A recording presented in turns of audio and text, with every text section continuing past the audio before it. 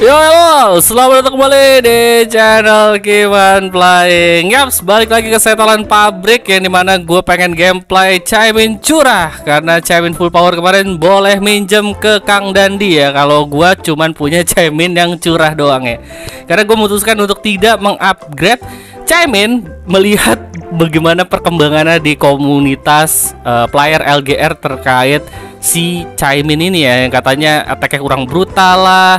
Terus ya kalau main uh, apa namanya TTL juga ya kurang bisa uh, kayak Sakura Bamina yang nggak bisa bypass. Karena dia uh, main TTL kurang lebih sama kayak Crow gitu kalau main TTL jadi ya banyak kekecewaan lah ya selama lima uh, hari atau enam hari terakhir semenjak si Caimin ini rilis. Tapi gue bodo amat karena gue juga nggak full power ini kartu jadi gue nggak peduli sama postingan-postingan kayak gitu.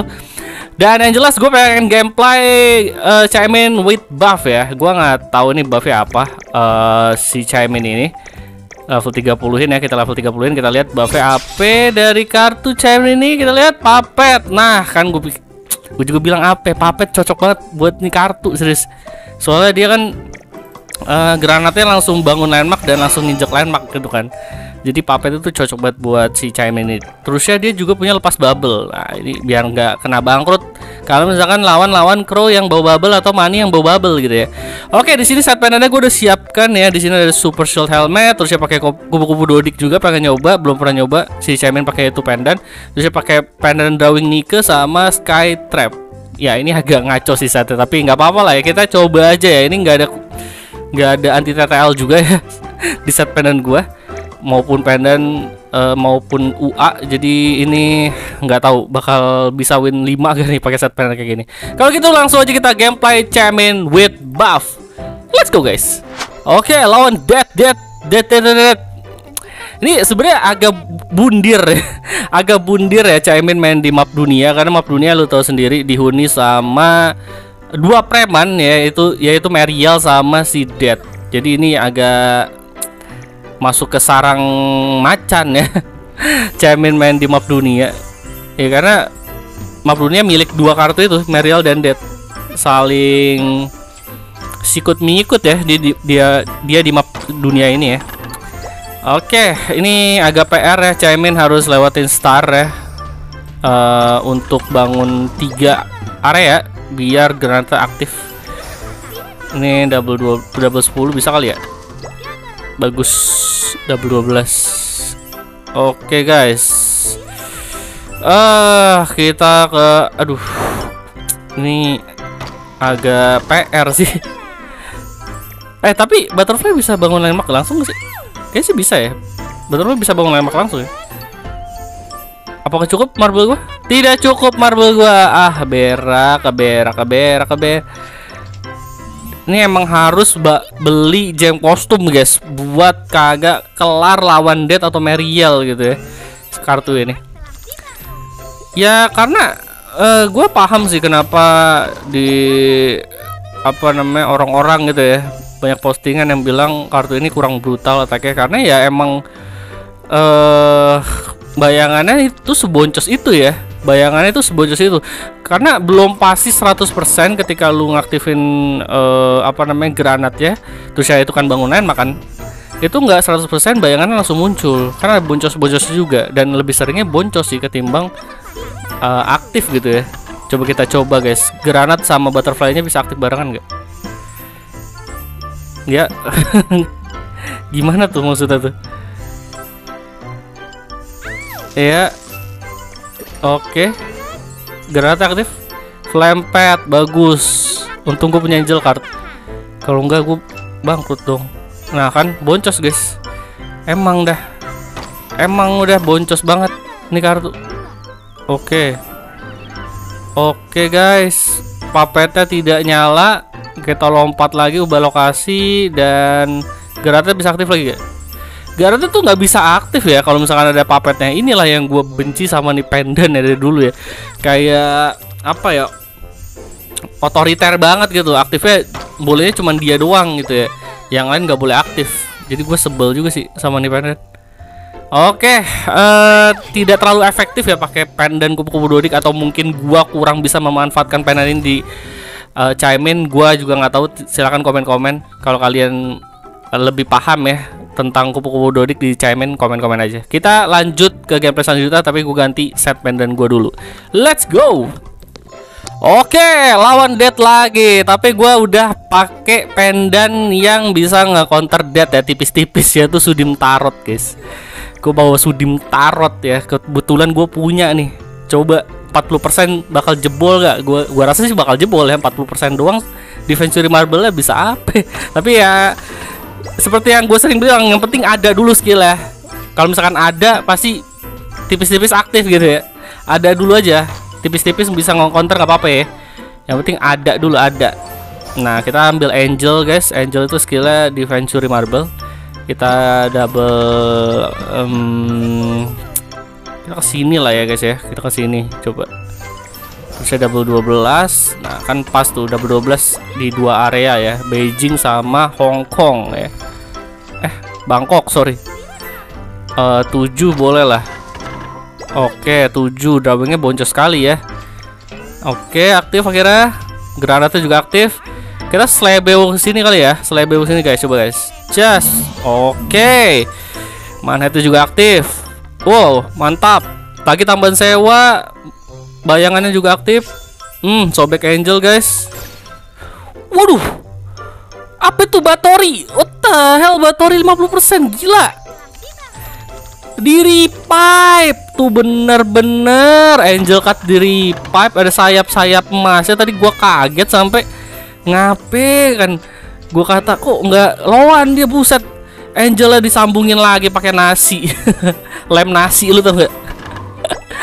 Bener-bener Batori jam kostum. Ini kan kalau nggak salah Batori jam kostum itu beli ya ratusan ribu ya. Gila sih. Masih ada yang punya ternyata.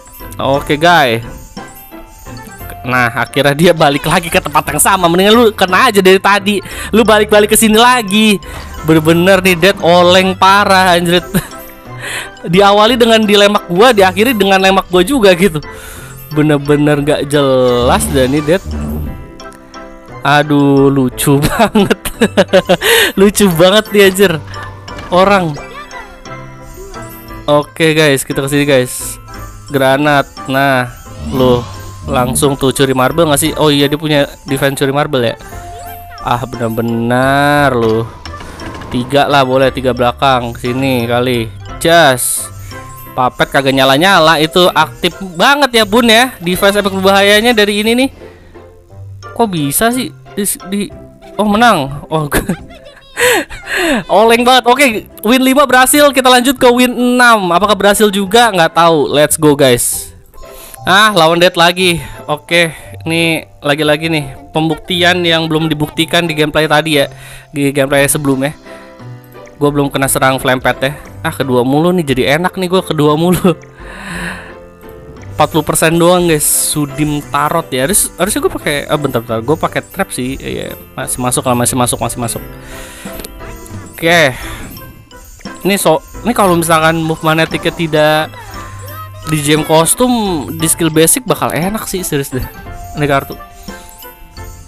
Defensory Marble. Defensory Marble dicuanin aja nggak apa-apa Move magnetiknya di skill basic aja gitu ya. Jangan disuanin karena kayaknya berpengaruh juga biar early attack biar lu bisa empat kali roll dadu ya. Enak tuh sumpah. Oke kita ambil angel. Semoga sudim gua aktif. Eh sudim Sky Island maksudnya. TV Sky Island ya. Coba kita pembuktian double 12 eh double ya double 12 aja deh. 12 Coba kita lihat guys. Defense curi marble lah Widih Saik Bener-bener. Langsung aktif gue tuh 40% Demen sih gue Tapi Drawing nike-nya Ah elah drawing nike-nya. Bener-bener lu Drawing nike Boncos banget. Berapa sih dia persentase awalnya? 40% Ngapain gue pakai terus ya?